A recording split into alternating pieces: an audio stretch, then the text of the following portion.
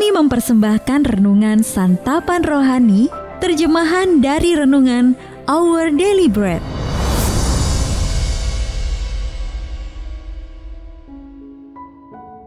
Untuk menerima notifikasi video baru kami, silakan tekan tombol subscribe dan tanda lonceng di bawah ini. Sahabat ODB, pembacaan Alkitab hari ini terambil dari dua Raja-Raja pasal yang ke-20 ayat yang pertama sampai dengan ayat yang ke-6.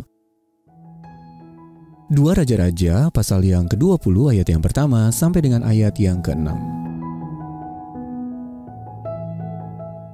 Hiskia sakit dan disembuhkan. Pada hari-hari itu, Hiskia jatuh sakit dan hampir mati.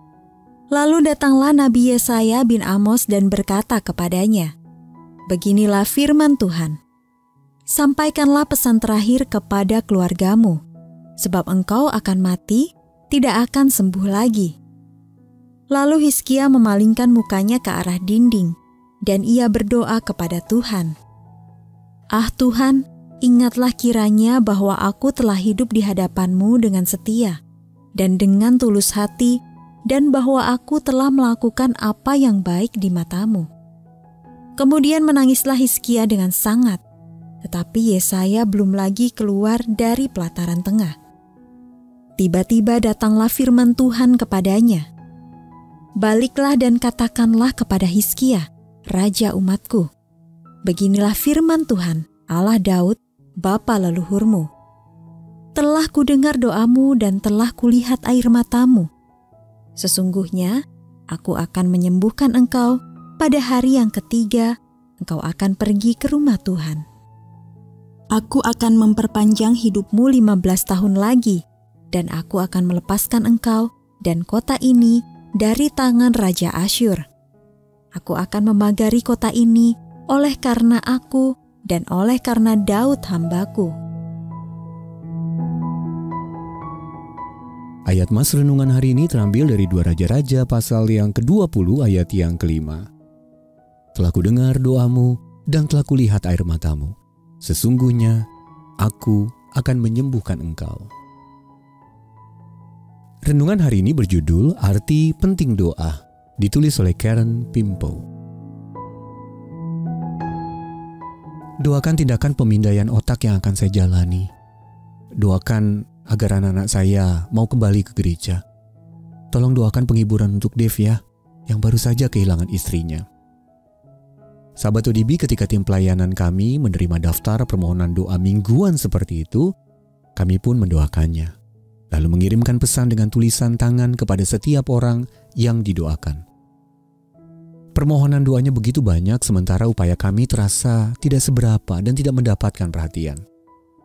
Namun Perasaan itu berubah setelah saya menerima ucapan terima kasih yang tulus dari Dave, suami yang baru saja berduka tadi, disertai salinan berita kematian istri tercintanya. Saya kembali menyadari betapa pentingnya arti doa. Yesus memberi teladan bagi kita untuk berdoa dengan sungguh-sungguh, dengan tekun, dan dengan iman yang penuh pengharapan. Masa hidupnya di muka bumi sangat terbatas, tetapi dia memprioritaskan waktunya untuk menyendiri dan berdoa. Markus pasal yang pertama 35, pasal yang ke-6 ayat 46, dan pasal yang ke-14 ayat yang ke-32. Ratusan tahun sebelumnya, Hizkia Raja Israel juga mendapat pelajaran serupa. Ia diberitahu bahwa penyakit akan segera merenggut nyawanya. Dengan hati yang susah dan tangisan kepedihan, Hizkia memalingkan mukanya ke arah dinding dan ia berdoa kepada Tuhan. Dalam peristiwa ini, respons Allah datang seketika. Dia menyembuhkan penyakit Hizkia, memperpanjang masa hidupnya 15 tahun lagi, dan berjanji akan melepaskan kerajaannya dari musuh.